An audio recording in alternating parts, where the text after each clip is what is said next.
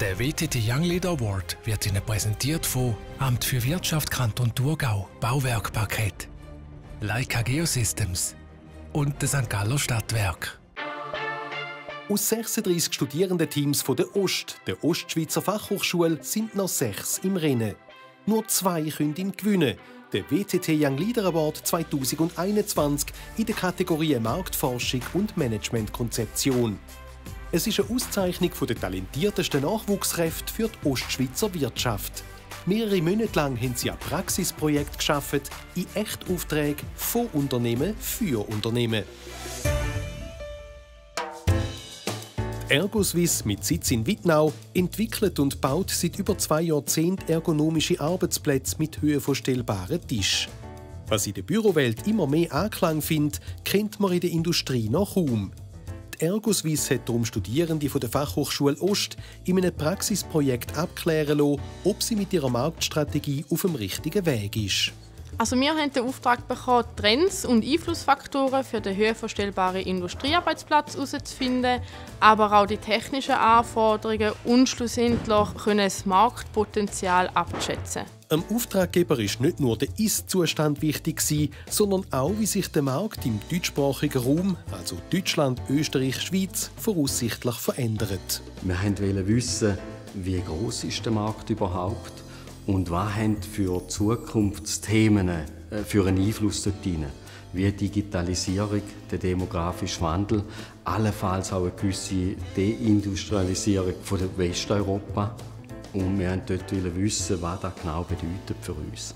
Die studentische Projektleiterin ist selber im Unternehmen tätig. Ihr Hintergrundwissen hat dem Team sicher weitergeholfen. Ihr Praxisprojekt haben sie aber doch von Grund auf selber erarbeiten.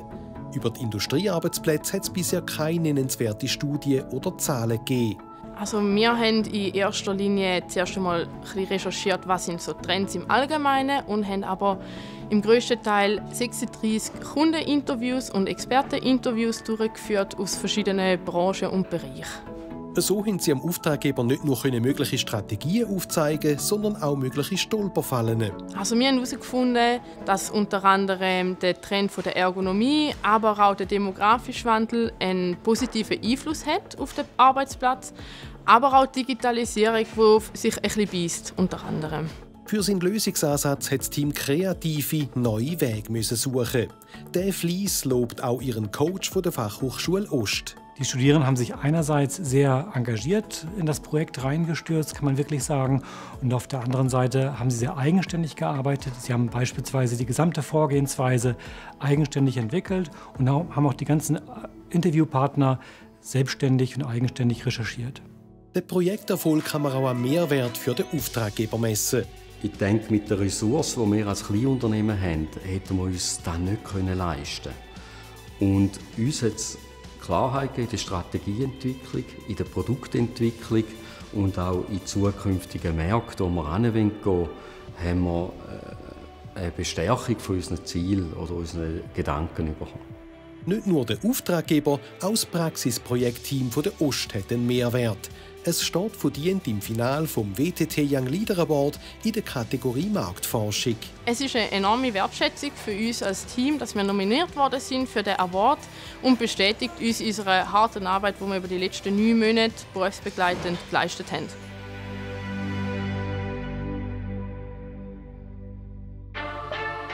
Wer gewinnt den WTT Young Leader Award 2021?